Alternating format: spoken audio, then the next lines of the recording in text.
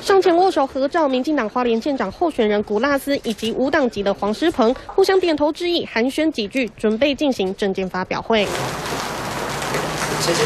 来到台上却只有两个讲台，怎么不见国民党花莲县长候选人徐祯卫身影？这也让两位对手看不下去。花莲绝对不能只属于一个家庭、一对夫妻，否则花莲会更腐败。徐祯卫县长是一位现任的县长，他甚至选择不参加今天这场公办电视政见发表会，总恐怕想着自己躺着都会赢。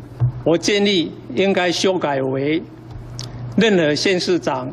终其任何人终其一生最多只能当两任，以及夫妻直系血亲包含其配偶，必须至少隔一届或四年才能参选。古拉斯、黄诗鹏都盼着要打破家庭政治。古拉斯更在证件发表会上列举好几项这几年花莲县府遭到监察院纠正的案例，有非常多的质疑啊，包括县政府里面有官员历次哦，陆陆续续都出现了收受回扣、接受人民贿赂与交代这样的这个这个风纪的问题，所以他缺席我也不觉得意外，但是比较可惜的是。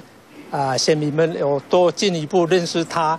徐正伟本来就放弃参加政见发表会，遭质疑是放弃跟县民的沟通管道。宣战倒数，候选人全力冲刺，花莲这一战结果如何？外界都在看。三立新闻吕燕、蔡永恩，花莲采访报道。